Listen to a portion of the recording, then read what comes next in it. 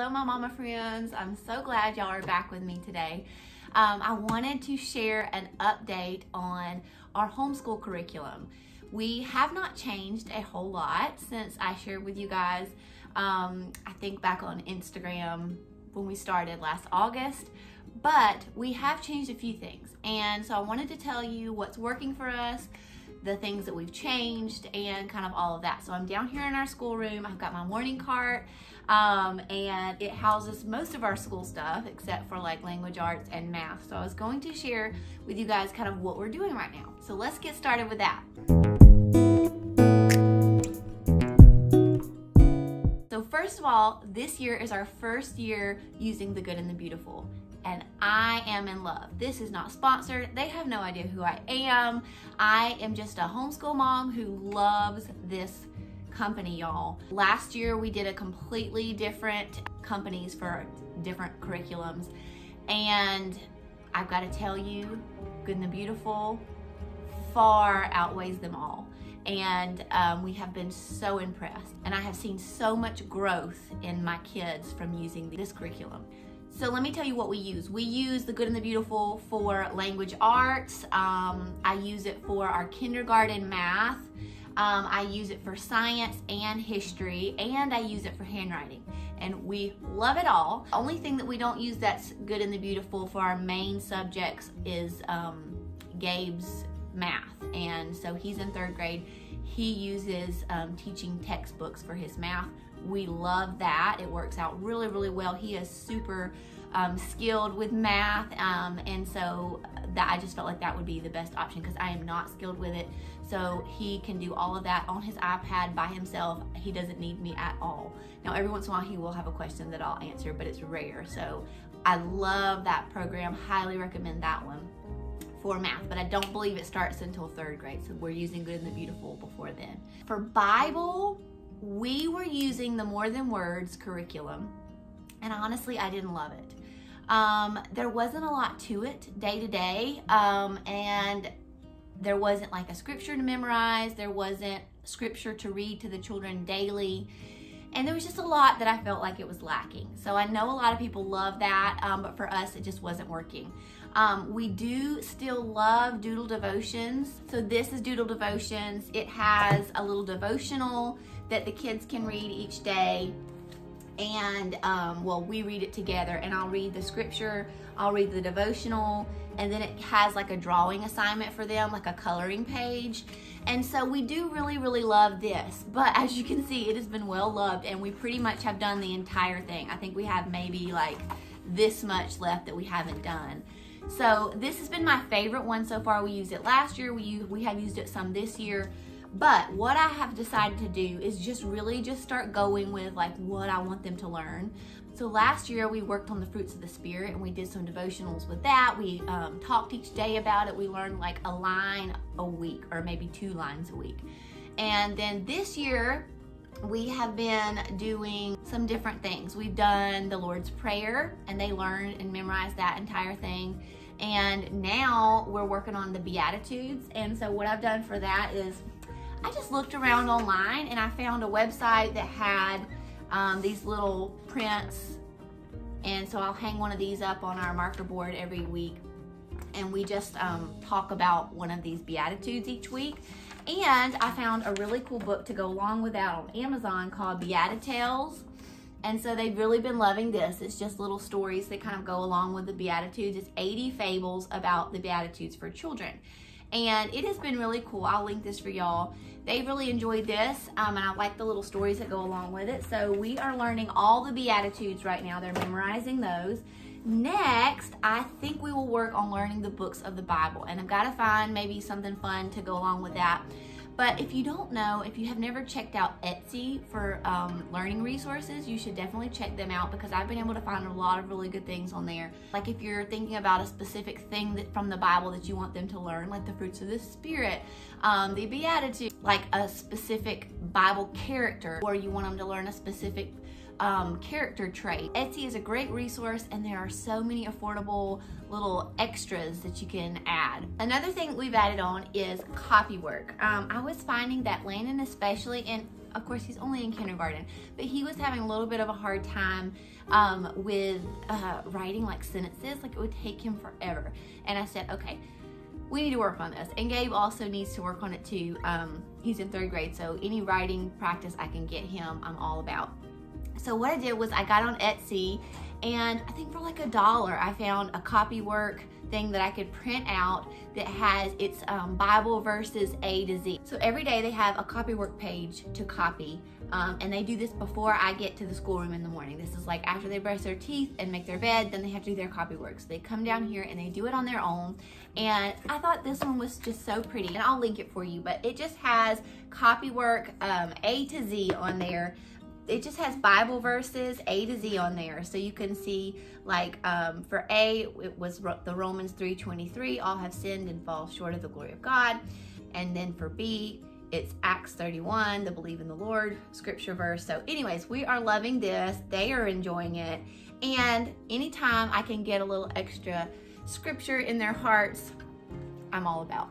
So that's going to be how we um, tackle Bible moving forward. We're just going to kind of figure out what we want them to learn, and then I'm going to just choose something simple to go along with that. And and the main thing that I want them to be doing is getting scripture in them every single day. So memorizing it, reading it to them, and honestly, you don't do anything else, I feel like that's an accomplishment, and you really don't need any like fancy curriculum but it is fun to have these little extras to go along with it. So that's what we've been doing for Bible. Now, for our read alouds, um, we bought the good and the beautiful read alouds that go along with our history.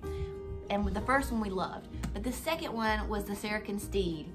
And we did not love that. We just couldn't get into it. I know that the boys will be interested in it when they get a little older, but I felt like it was a little bit over their head right now. So we were like, you know what? If we're not enjoying it, we're not going to do it because it's not something that's like required and we're going to have fun with school. So I decided, you know what? We're not going to do that. We've been reading The Wind in the Willows instead. Um, they love this book. It is so cute. It does say a little, um, I don't know if a lot of people consider it a cuss word, but it does say a couple of little words in here that I've had to just like scratch out before I say them. um, so that's the only thing I would say about this, but it is the cutest story and they are super into it. And, um, and this particular one that I got off Amazon just has the prettiest drawings and graphics in it and they really love to look at these pictures. So I highly recommend um, this book and it's hardbound, it's very nice. Another thing we're really loving is this manners book. Um, it's called 365 Manners for Kids, and I just kind of skim through it, figure out what I want to talk to them about. It's, it's, if nothing else, it just gives you like prompts to talk to them about. I don't usually read it like word for word, but it talks about like slamming doors, when friends don't want to be with your siblings, um, frightening others. It talks about being a good friend, asking for permission first. Just a lot of really good things um, that we're trying to train the kids up with. So I just maybe spend like maybe two to three minutes on this, usually in the mornings for our morning time. And then, of course, we have our fun little books that kind of go along with the seasons or go along with our history lessons. Right now, we have this one on George Washington. Um, we also have the snowy day that we're going to read this week. Just little fun things like that that I, I like to add weekly. Um, what else in here? Oh, the other thing we've been loving is our fall bundle. I'm sure you have heard about these. They are all over Instagram, I feel like.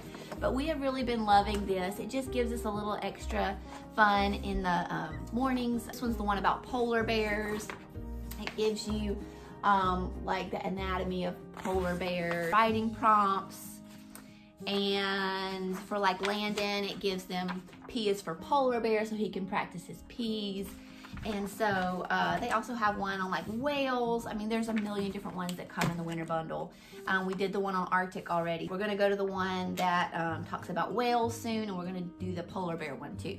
So the kids have really been enjoying that. It's just a fun little extra, and it's something that I don't have to think about. I can just print it off. I don't have to search for anything on Pinterest or anything. It's all there for me. The other thing I wanted to show y'all that the kids have loved doing this year is our um, letters from afar and our writings from the wild. Now this is like a letter sub subscription and um, it's geography is the letters from afar. The girl who writes letters, her name is Isabel. And so Isabel travels to different places all over the world. So every month she's in a different place and she writes you a letter about it. And the letters themselves are just beautiful. And I love to, to look at them. And I and I'm guessing they're just they're handwritten because they're just and and it looks like that someone drew these pictures. They're just really beautiful. And the stories are always fun and they really catch the boys interest and they love them. So um, she even sends like little uh, it's a map that goes with it. These are her field notes and she sends you a map showing you where where um, the place she is at is located and then just little facts about the place. The other one is the writings from from the wild and so each month they send you a different animal and it could be an insect or a mammal or um, a fish um, just all different ones. And so this particular one was on mantis shrimp and it was just the coolest.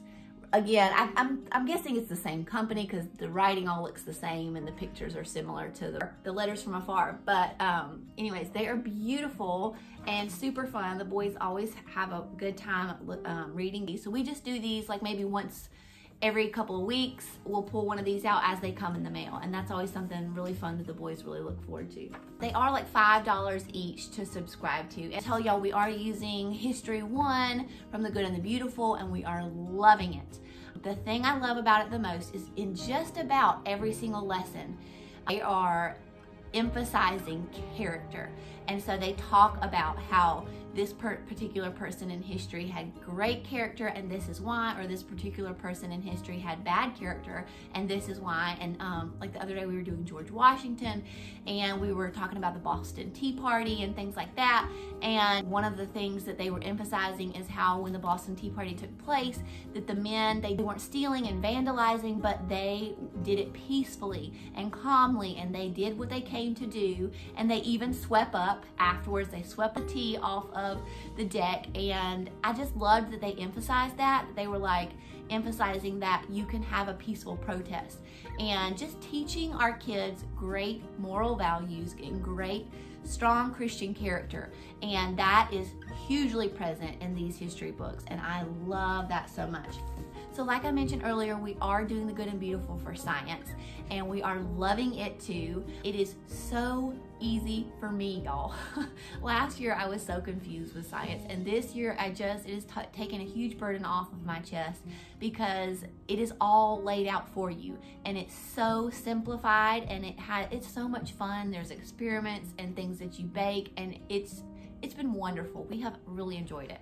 So um, last, from like August to December, we did um, the mammals one from them and we loved it. And so now we're moving on to marine biology. We're hoping that the Good and the Beautiful's paleontology study will be out soon. Um, but until then, we're gonna do the marine marine um, biology. So they're really enjoying that so far. And um, this is also a free free unit study. So if you wanna go to their website, I think you sign up for their emails and this is a free download that you can get. You can also choose to buy it um, and they'll ship it to you. But I just printed it all out and it worked just fine too. And speaking of free things and cheap things on the Good and the Beautiful's website, um, their handwriting I love. Um, so I did buy the physical copy of Handwriting for Gabe, but he went through it like that and it was just very quick. So I ended up buying for him uh, the PDF version so I can print it again. And that has been really, really helpful.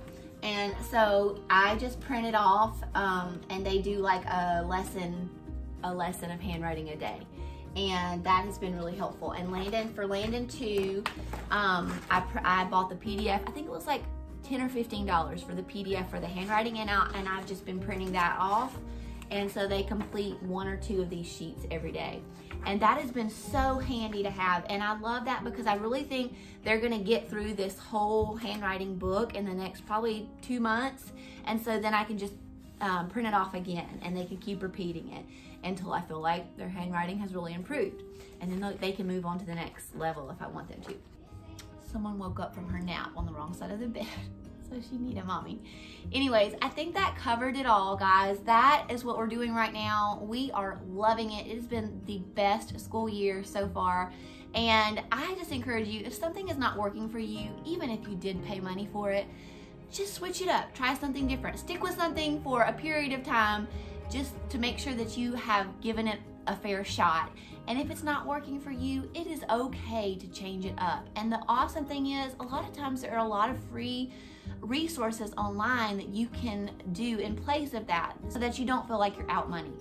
So that would be my recommendation. And that is what we had to do with a few things. Is just it wasn't working for us or it wasn't fun or we weren't enjoying it. And I said, you know what? We're gonna try something different. And so uh, for the most part, everything we chose back in August has been wonderful and we're loving it. But there are a few things that we've decided to change and I'm really, really happy with those choices. So I would highly recommend that if you're on the fence and thinking, oh, I'm not enjoying this, then just switch it up and see what happens because I'm sure you'll be a lot happier. So that is it. That is our updated curriculum choices for the year.